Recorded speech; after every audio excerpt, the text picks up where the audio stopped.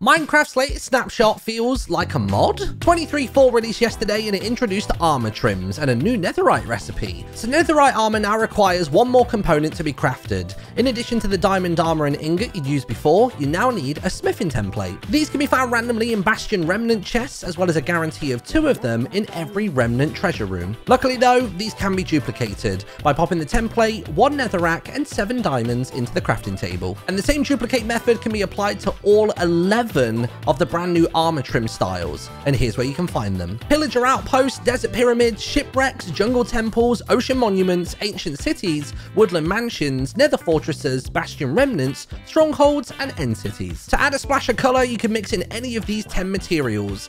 Iron, copper, gold, lapis, emerald diamond, netherite redstone, amethyst, or quartz. With hundreds, if not thousands of possibilities now for armor sets, I'd love to hear your favorites, and what do you think on the new system?